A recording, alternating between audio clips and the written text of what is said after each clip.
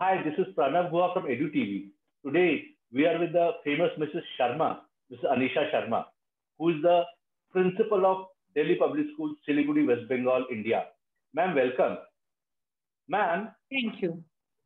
Ma'am, as this is not a very normal year, even last year was not a very normal year, the students are quite in dilemma, especially the parents, especially the parents who are from the working class. They wanted their kids to do some, get into some good profession, some good courses.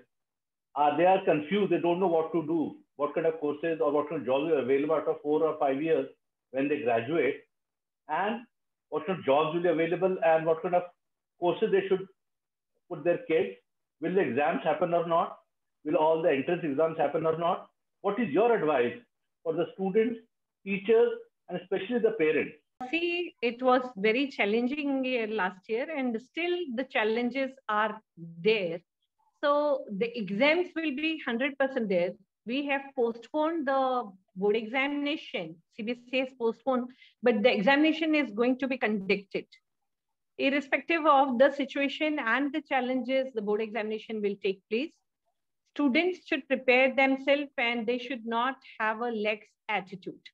Uh, regarding their admission, they should seek the admission in India itself. If they're planning to go abroad, I would suggest that they should have a plan B because in many countries, it will be difficult for them to travel and get the admission.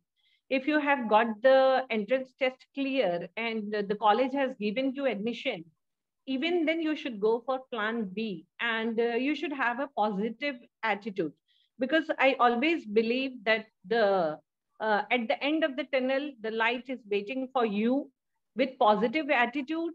You should go ahead and you should right now only focus on your board examination because the most important thing for 12th class or 10th class is the, their board exams and they should not think further.